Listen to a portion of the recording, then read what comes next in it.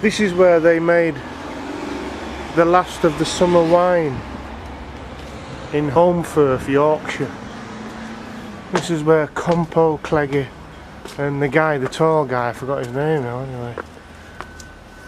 Very quaint up here, isn't it? This is uh, Holmfirth, West Yorkshire. As I said, this is where they made uh, the last of the summer wine. We go down here a bit, this is the old, this is the old uh, jailhouse. This used to be a jail, believe it or not. English heritage, English culture. You can't get enough of it really, but uh, I think it's a crime to be English now.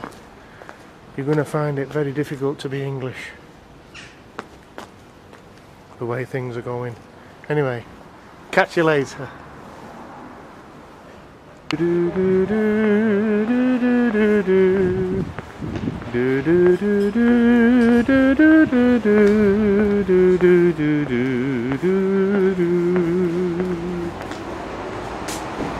This is where they made last of the summer wine